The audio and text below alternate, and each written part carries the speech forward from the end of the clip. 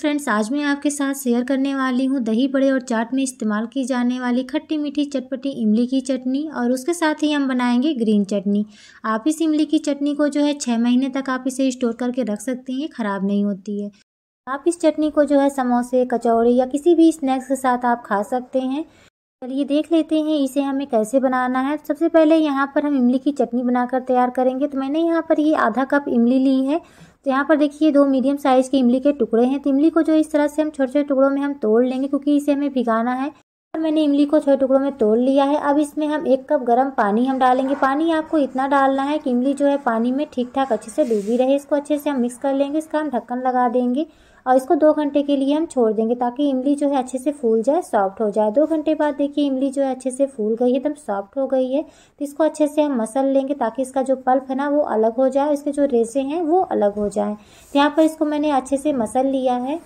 और अब हम एक बाउल के ऊपर हम छन्नी हम लगाएँगे इसमें हम सारे इमली के पल्प को हम डालेंगे इस तरह से चम्मच से दबा दबा करके हम सारे इमली के पल्प को हम निकाल लेंगे और जो इसके रेसे हैं ना, उसको हम अलग कर लेंगे।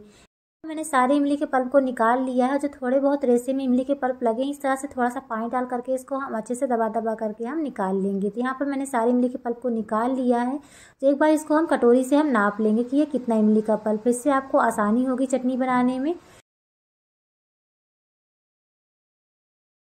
यहाँ पर ये तीन चौथाई कप इमली का पल्प है, यानी एक कटोरी से थोड़ा सा कम इमली का पल्प है। अब हम गैस पर एक पैन रखेंगे, इसमें सारी इमली के पल्प को डालेंगे और इसमें हम एक कप पानी डाल देंगे और इसमें हम आधा कप गुड़ हम डालेंगे। तो मैं यहाँ पर जो है ज़्यादा मीठा नहीं पसंद करती हूँ, इसलिए मैंने यहाँ पर आधा कप गुड़ डाला है। अगर आप ज़्यादा मीठा पसंद करते हैं तो आप एक कप गुड़ जो है डाल सकते हैं इसमें। तो गुड़ को मैंने छोटे टुकड़ों में काट करके लिया है ताकि जल्दी से मेल्ट हो जाए। इसको हम लो फ्लेम पर गुड़ को अच्छे से हम मेल्ट कर लेंगे। पर गुड़ अच्छे से मेल्ट हो गया है तो इसको हम छान लेंगे, क्योंकि कभी कभी क्या होता है ना कि गुड़ में गंदगी वगैरह होती है, जब हम खाते हैं ना तो किरकिरी सी लगती है तो इसलिए आप गुड़ को मेल्ट करके ज़रूर छान लें। तो यहाँ पर देखिए मैंने इसको छान लिया, वैसे गुड़ जो है बिल्कुल साफ़ था, इसमें कुछ था नहीं। तो छानने के बाद इसमें हम कुछ मसाले हम डालेंगे तो सबसे पहले यहाँ पर हम आधी छोटी चम्मच भुने हुए जीरे का पाउडर और इसमें हम आधी छोटी चम्मच लाल मिर्च का पाउडर थोड़ा सा इसमें हम काला नमक, थोड़ा सा सादा नमक और इसमें हम एक चौथाई चम्मच गरम मसाला पाउडर हम डालेंगे। इसमें हम आधी छोटी चम्मच सोट का पाउडर हम डालेंगे। अगर आपके पास सोट का पाउडर नहीं है तो आप इसमें आधा इंच जो है अदरक ग्रेट करके आप डाल सकते हैं। सभी को मिक्स करने के बाद इसमें हम 10 से 12 किशमिश हम डालेंगे। भी जो है इसमें अच्छे से फूल जाएगी। जब हम चटनी को हम पकाएँगे और इस चटनी में किशमिश बहुत ही टेस्टी लगती है खाने में तो यहाँ पर इसे हम मीडियम फ्लेम पर लगातार चलाते हुए हम गाढ़ा होने तक हम पका लेंगे। तो यहाँ पर देखिए चटनी जो है काफ़ी गाढ़ी सी हो गई है। अगर आप इसे ज़्यादा दिन के लिए स्टोर नहीं करना चाहते हैं तो आप इसी स्टेज पर इसको आप उतार सकते हैं। लेकिन मैं इसको जो है लंबे समय तक के लिए स्टोर करने वाली हूँ। ये कम से कम छः से सात महीने तक ख़राब नहीं होगी तो इसलिए मैं इसको थोड़ी देर और पका लूँगी। तो यहाँ पर देखिए, इसको मैंने थोड़ी देर और पका लिया है। स्पेचुला से जब मैं इसको गिरा रही हूँ तो जो लास्ट ड्रॉप है, काफ़ी देर से गिर रही है। ज़्यादा हमें चटनी को नहीं पकाना है, क्योंकि ये चटनी जो है ठंडी होने के बाद और भी गाढ़ी हो जाती है। तो गैस को हम बंद कर देंगे। चाहे तो इस तरह जो है फिंगर से भी आप चेक कर सकते हैं। दो उंगलियों के बीच में आप चटनी को लगाएँ और इस तरह से करेंगे तो ये देखिए इसमें एक तार बन रहा है। तुम्हारी चटनी परफेक्ट है। यहाँ पर हम चटनी में थोड़े से खरबूजे के बीज हम डालेंगे। तो गैस पर मैंने एक कटोरी रखी है, उसमें मैंने एक चम्मच खरबूजे के बीज डाले हैं। इसको हम धीमी आँच पर हम रोस्ट कर लेंगे। आप चाहें तो इसको जो है पैन में या तवे पर भी आप भून सकते हैं। तो खरबूजे के बीज जो है अच्छे से फूल गए हैं तो इसको हम चटनी में हम डालेंगे और अच्छे से हम मिक्स कर लेंगे।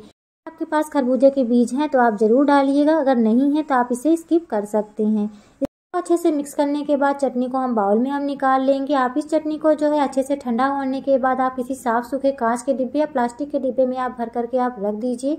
आप इसको जो है फ्रिज में रख करके आप छः महीने तक आप इसे खा सकते हैं। पर हमारी खट्टी मीठी चटपटी इमली की चटनी बन करके तैयार है तो चलिए अब हम देख लेते हैं हमें ग्रीन चटनी को कैसे बनाना है। तो यहाँ पर मैंने एक ग्राइंडिंग जाल लिया है, यहाँ पर मैंने एक हरी मिर्ची, तीन करी लहसन, एक इंच अदरक को मैंने छोटे टुकड़ों में काट करके लिया है। आप तीखा अपने हिसाब से ज़्यादा भी कर सकते हैं। यहाँ पर मैंने एक कप हरा धनिया इसमें हम एक नींबू का रस डालेंगे। अगर आपके पास नींबू का रस नहीं है तो आप इसमें एक छोटी चम्मच आमचूर का पाउडर डाल सकते हैं। और इसमें हम थोड़ा सा काला नमक थोड़ा सा सादा नमक, आधी छोटी चम्मच भुने हुए जीरे का पाउडर और थोड़ा सा पानी डाल करके इसको हम पीस लेंगे। तो यहाँ पर आपको चटनी को जो है गाढ़ा नहीं रखना है, इतना पतला जो है बना करके आपको तैयार करना है। इस हरी चटनी को जो है दो दिन तक फ्रिज में रख करके आप खा सकते हैं, दो दिन तक ये खराब नहीं होगी। इस हरी चटनी को जो है दो दिन तक फ्रिज में रख करके आप खा सकते हैं, दो दिन तक ये खराब नहीं होती है। वो फ्रेंड्स, आपको आज की ये वीडियो पसंद आई होगी। अगर पसंद आई हो फ्रेंड्स तो प्लीज़ हमारे चैनल को लाइक और ज़्यादा से ज़्यादा शेयर एंड सब्सक्राइब ज़रूर करिएगा। बेल आइकन प्रेस करके ऑल पे क्लिक ज़रूर करिएगा। ताकि मैं जब भी कोई वीडियो अपलोड करूँ तो उसकी नोटिफिकेशन सबसे पहले आपको मिले। तो कल मिलते हैं ऐसी एक और नई रेसिपी के साथ। तब तक के लिए टेक केयर एंड बाय